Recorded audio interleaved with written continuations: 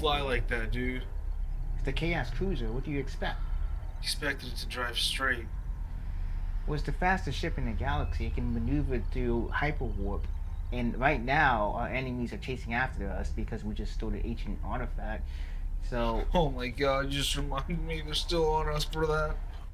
well, we're in orbit right now. I guess we can lay low for a bit.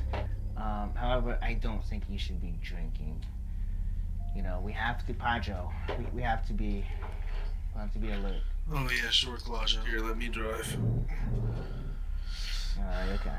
See if you can land on that green planet down there. The one that has no water on there? No, we're not going there. We need water. Well, how do you know? I mean, it could be green water. It's not green water, and I'm not putting green water in my mouth. Last time I checked, green water was like sewage water. You know, I once had a girlfriend, an alien chick. Her name was Shroom Shroom. She was as beautiful as that green planet down there. I wish I would have kept that relationship, but you know how these chicks are nowadays in the galaxy, especially the alien ones. She was Have you ever had? Have you ever had an alien?